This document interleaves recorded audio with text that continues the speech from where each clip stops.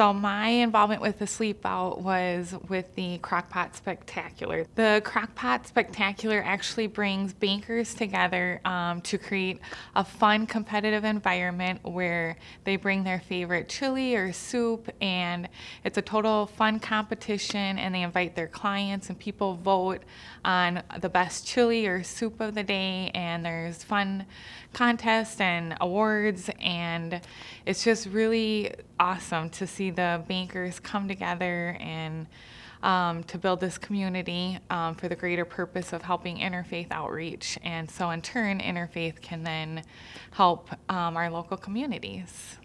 The Crockpot Spectacular got started because there was a gentleman, he would raise money for interfaith by sleeping out overnight.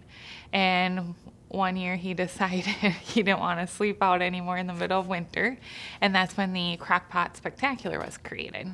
Bridgewater Bank um, has decided to become a supporter of interfaith outreach um, because we love working with our local communities, first of all. Second of all, we want to help those that are struggling with affordable housing. I think it's something very dear to our hearts that, you know, as we work with the commercial real estate side of things um, for Bridgewater, the the way we want to give back as an organization is through affordable housing and future education for generations coming up. And Interfaith is a great example of helping the community, whether it's with your food shelf, your clothing closet, your rental assistance. You guys do so much, and it's such an honor for us to be able to support Interfaith and to come alongside you guys.